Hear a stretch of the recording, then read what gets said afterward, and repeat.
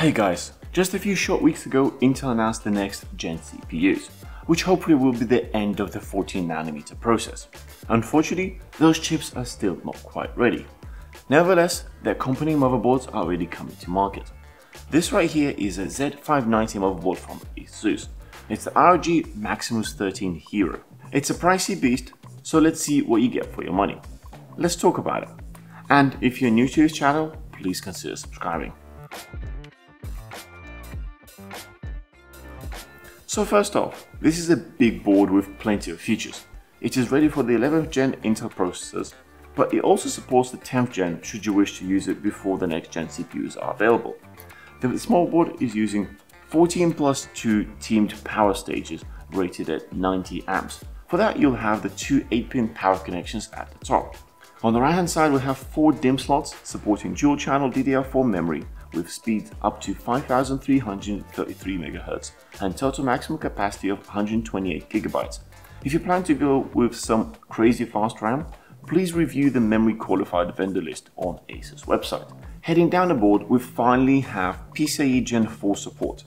Welcome to the future Intel.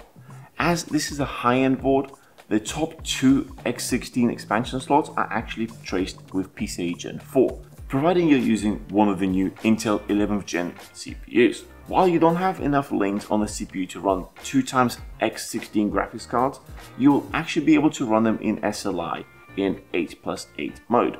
And as is PCIe Gen 4, it would have similar bandwidth to 16 plus 16 equivalent on a PCIe Gen 3. Moving further down, we have an extra times 16 slot and 1 times 1 slot in between. These are wired up to the Z590 chipset, and they're running on PCIe Gen 3. Talking about chipset, in this generation Intel has doubled the amount of lanes between the CPU and the chipset. Now it is a total of 8, avoiding going up to PCIe Gen 4. I guess they did it to keep the cost down for the traces. Regardless of that, we get a lot more I.O. and storage options. On this board, it is possible to install up to 4 M.2 drives, two of which support PCIe Gen 4. Do note that the top drive is only compatible with Intel 11th Gen CPU, otherwise it'll be disabled. On top of the M.2 drives, there are up to 6 SATA ports. There is one important detail. If you're using all 4 M.2 drives, then the last two SATA ports are actually disabled, as there's just simply not enough PCIe lanes to feed all the components. It is not ideal, but having an option is still preferred. Moving on to fans. This board is clearly suitable for a large water cooling setup as it has 6 fan headers and 2 water pump headers. Also we have sensors for temperature, flow, water in, water out, basically you're fully covered. Across the board we also find 3 addressable RGB headers as well as one standard RGB header. On the right hand side we have the expected USB Type-C and USB Type-A expansion ports with some USB 2.0 at the bottom. To be honest, I don't expect many people using those, except possibly to run some RGB or fan controllers. For the tinkerers out there, there is the usual QLED to help with troubleshooting, as well as clear CMOS and BIOS flashback buttons.